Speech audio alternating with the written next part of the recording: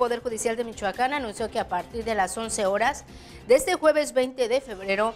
el magistrado presidente del Supremo Tribunal de Justicia del Consejo del Poder Judicial de Michoacán, Héctor Octavio Morales Juárez,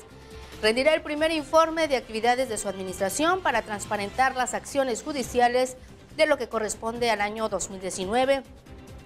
y al mismo tiempo afianzar la confianza con la sociedad. Será en el auditorio del Palacio de Justicia José María Morelos,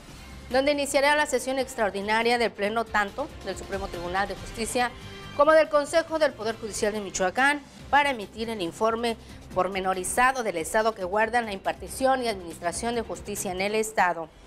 La ciudadanía conocerá a detalle la estadística de los asuntos que iniciaron y concluyeron en los distritos judiciales y las acciones del Consejo para agilizar la impartición de justicia, así como la administración de los recursos humanos, materiales y financieros necesarios para el buen funcionamiento de la institución.